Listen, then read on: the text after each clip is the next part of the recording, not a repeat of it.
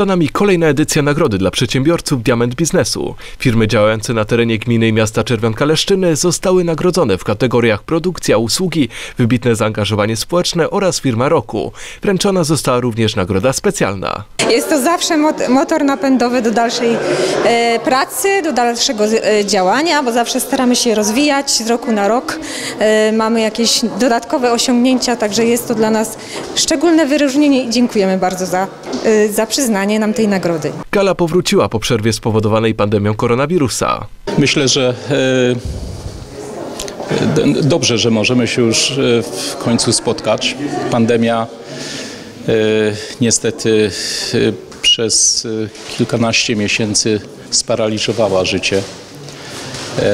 Nie tylko w naszej gminie, na całym świecie. Stąd e, z e, wielką radością, można powiedzieć, organizujemy dzisiejsze spotkanie dla przedsiębiorców, e, dla ludzi, którzy zaangażowali swoje środki finansowe po to, żeby e, stworzyć firmy,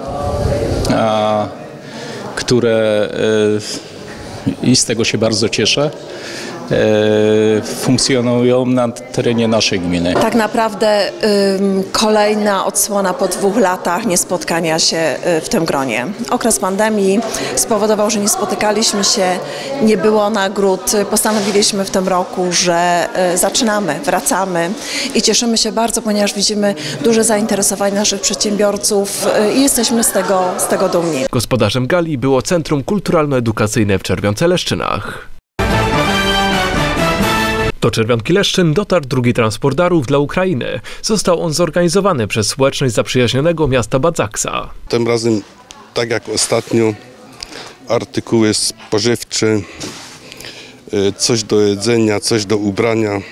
Kto przynosi dary? To są mieszkańcy miasta Badzaksy, tam gdzie mieszkam też.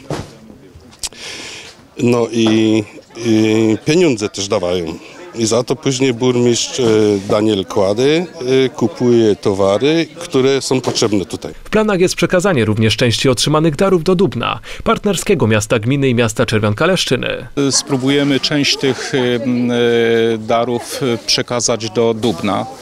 Będziemy organizować transport niezbędnych, potrzebnych w Dubnie, na Ukrainie, w naszym partnerskim mieście darów po to, żeby żeby zasilić także y, y, to miasto, które, które czeka na pomoc z Polski. Dary zostały już przekazane do funkcjonującego w Centrum Kulturalno-Edukacyjnym magazynu, z którego korzystają obywatele Ukrainy oraz do pomieszczeń tymczasowych przy ulicy Młyńskiej, gdzie mieszkają uchodźcy.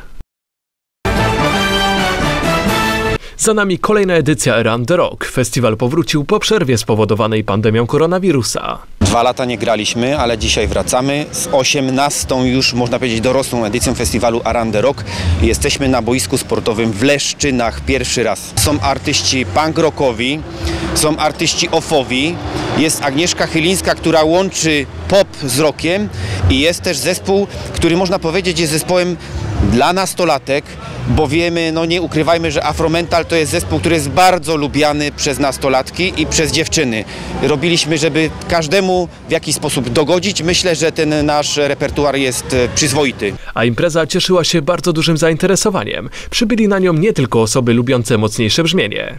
ten czas pandemii, który powodował, że wszelakie imprezy niestety nie odbywały się. E, dzisiaj to w jakiś sposób rekompensujemy. E, ale i okoliczności myślę, że e, są odpowiednie, bo e, 60-lecie nadania praw miejskich i tutaj e, też serdecznie zapraszam wszystkich e, 5 czerwca uroczystości e, w Czerwionce, a dzisiaj w Leszczynach 18 edycja festiwalu Arande Rock.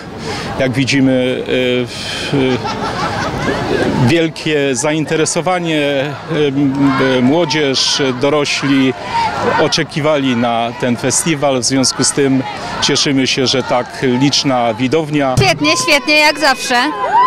Na kogo szczególnie czekaliście? Na Agnieszkę Chylińską oczywiście. Super!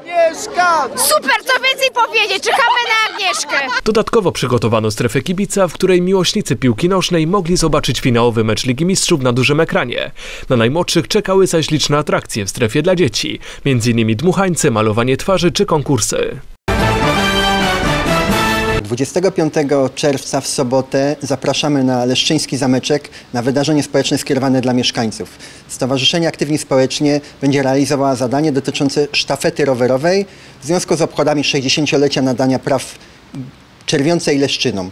Sztafeta rowerowa polega na tym, że 60 km będzie miała trasa, która będzie przebiegała przez wszystkie dzielnice i sołectwa naszej gminy, ale mieszkańcy, którzy w miarę możliwości nie potrafią przejechać całej, będą mogli w każdym momencie do niej dołączyć i wspólnie z nami przyjechać na metę, tutaj na Leszczyński Zameczek. Tutaj od godziny 13 zaplanowaliśmy rodzinny piknik integracyjny dla mieszkańców oraz zaproszonych gości. Będą liczne atrakcje, konkursy, y, zabawy dla najmłodszych, będą animacje, będą dmuchańce, będzie strefa gastronomiczna, będzie miasteczko ruchu drogowego, przy zaprzyjaźnionym wsparciu Ochotniczej Straży Pożarnej z Leszczyn będzie prelekcja e, przedstawiciela policji, Komendy Miejskiej Policji w Rybniku o bezpieczeństwie w ruchu drogowym. Będzie też krótki wykład o, o historii naszej dzielnicy i nadaniu praw miejskich. W związku z tym dla każdego coś miłego i zapraszam serdecznie wszystkich mieszkańców 25 czerwca w sobotę na Leszczyński Zameczek, a pasjonatów rowerów już od godziny 9, bo w tej godzinie ruszamy ze sztafetą wokół gminy.